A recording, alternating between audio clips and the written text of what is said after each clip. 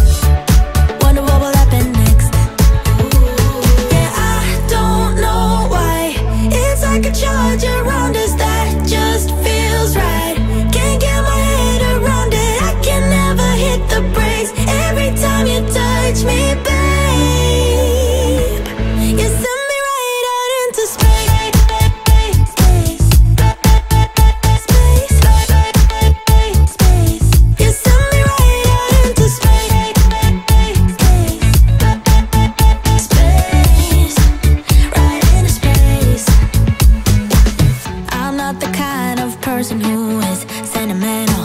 But this thing is making me sound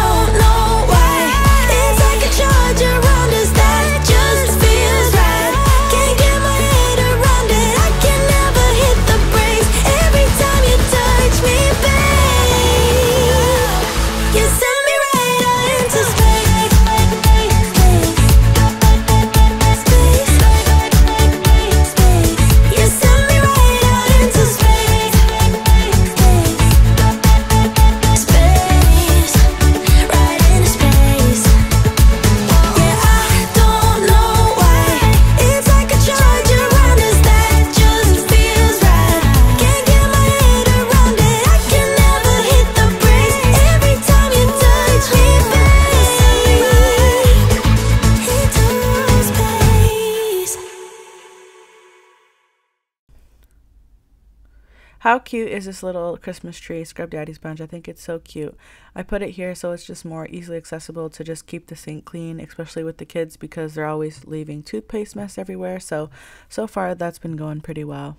I really like how this tier tray turned out. It's so cute and I like that it's very mini and it doesn't have a lot on it for any holiday.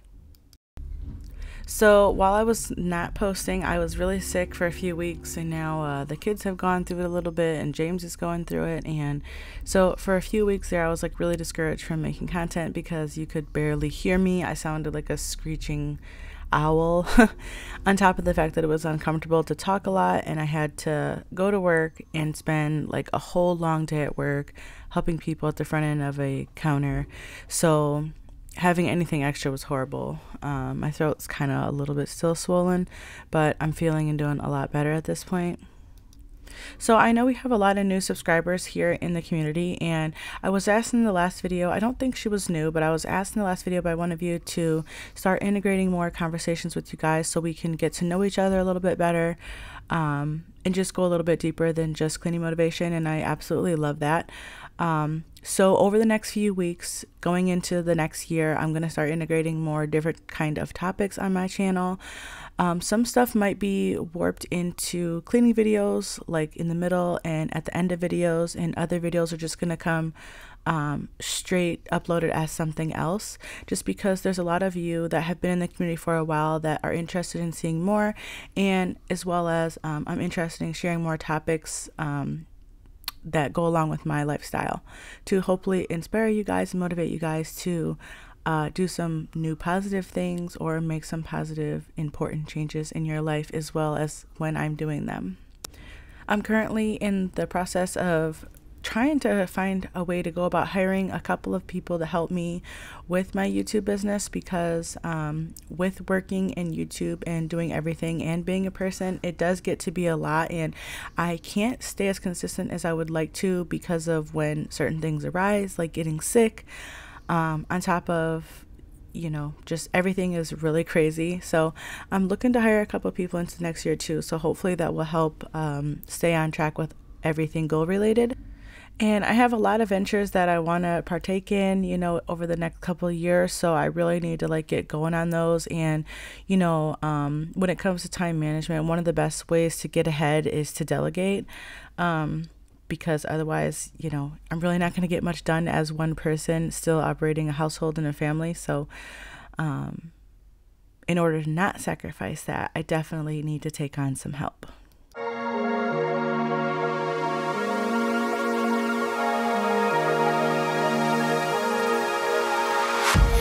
Go anywhere, anywhere with you. Cause you fill my mind, or you fill my mind.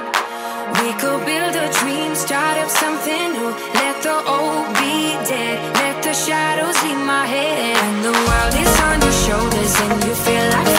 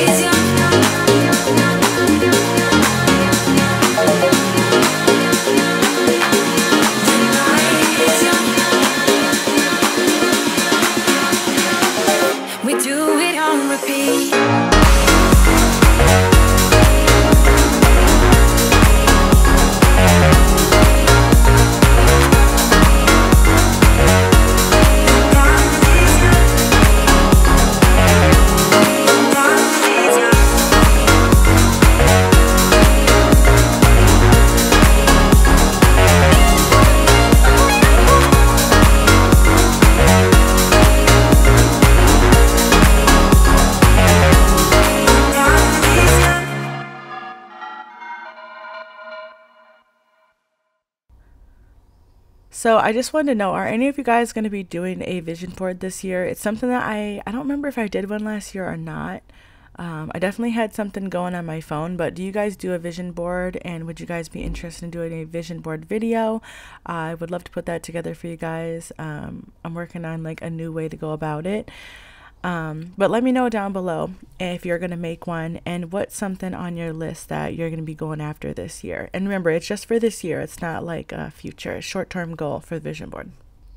While we're on the topic as well of my dirty old couch, I want to say since we're so close to Christmas that if you're thinking of getting a pet, just know that it is a lot of work.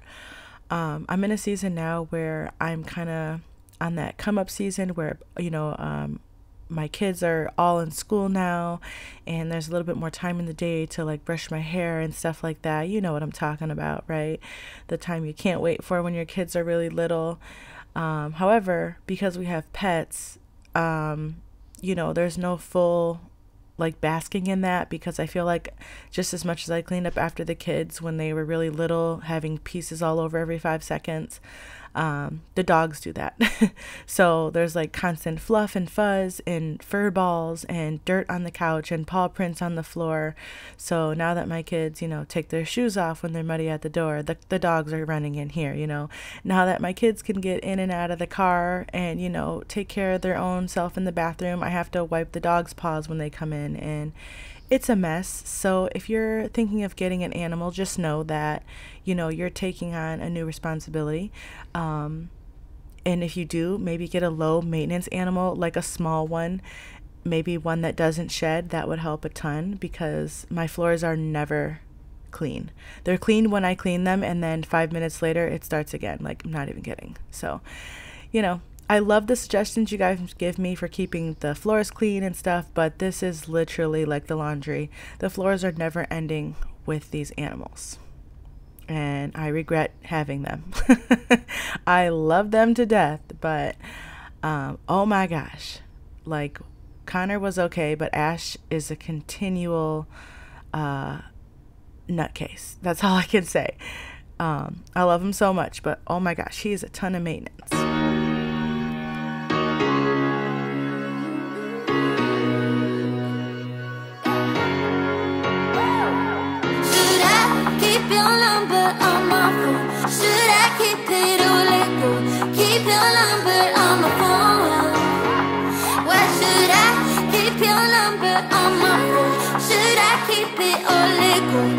Real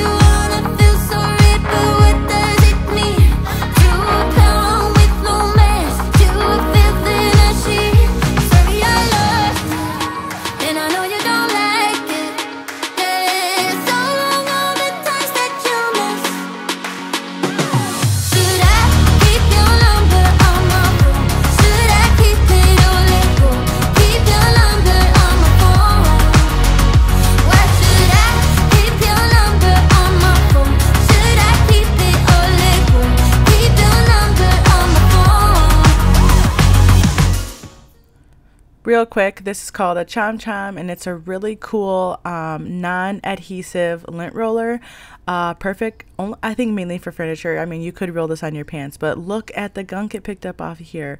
I thought this was really cool. I found this on Amazon, and I was like, this is such a great alternative to have to whip out my vacuum every single time I want to pick a little something up, and it's great for pillows. So it's really cool. I love how it works if you're in a low maintenance season of life, I really think this is a really great alternative to having to um, actually vacuum your furniture.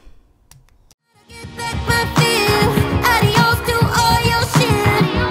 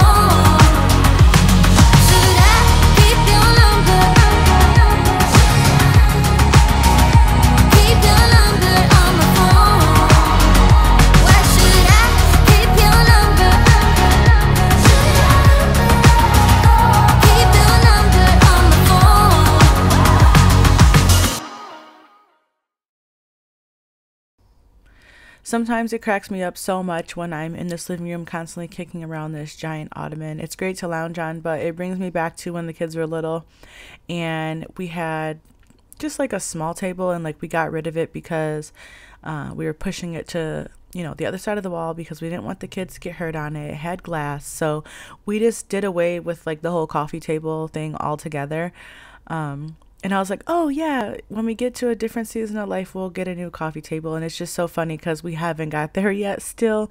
And now it's like, I kind of wanted to get one, but um, the dogs. So they're going to jump on it, I think, um, scratch it, like anything up there. Like you can't put certain things up there because they're just going to take it off and try to eat it. so I don't know if we'll ever get like the coffee table living room, but maybe one day when I'm older and then I can put like my cute little candles on it and, you know, have my coffee. But for now, that ship is definitely sailed. I know this is like really random, but I was in the shopping store the other day and I was trying to get some hair products and I realized that my favorite product, which is It's a 10, uh, for like a heat protectant and like a curly hair leave in, and it is so expensive. Like, if I use it between me and the girls, like it would probably only last like a month, and the bottle that we would need is like $40. So that's crazy. But I'm wondering, like, if anybody else has used that product, and do you know something that's similar to it that doesn't contain coconut? Like, that's my problem with natural hair products is we don't use coconut products pretty much like the majority of the time. So I don't know. If you guys have any info on that, I'd love to hear it because that is so steep for one hair product. Let me know. But otherwise, I'm just cleaning behind the TV. I try to do this twice a year. I actually have like a trauma trigger when it comes to like dust collection behind the TV. I remember living with my dad, who is my stepdad, but um, he passed away. You guys know this. And when I lived with him, he was older. He had uh, rheumatoid arthritis really bad, and he had a really bad hip from a hip replacement that he didn't get fixed. And so uh, you know, obviously he was an older male. He wasn't walking around cleaning his house all the time. So when things would get crazy, I would be like, uh uh all right, dad, I'm about to clean this because this is gross. so I would pull the TV out and there would be just like an inch thick of like dog hair and dust on the carpet. And I always hated that. And so um, I'm like, oh my God, we're gonna like have a house fire or something. So now all the time, twice a year. I usually do it around winter and then like around summer. I try to move the TV and vacuum between all the cords and dust so that way, you know, can lessen that and get rid of those dust bunnies. I definitely almost just broke the TV off right there. Like this thing is hanging on by a thread. I don't even know how that's in there. I think it's screwed into this little stand. Um, this TV situation needs to be updated. But either way, I got this all dusted.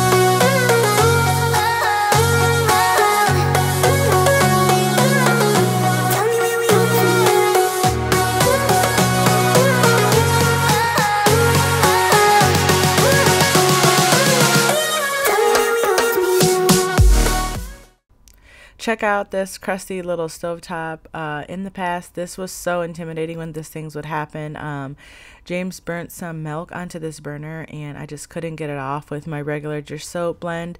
So I tried the Scrub Mommy with the pink stuff and it didn't work.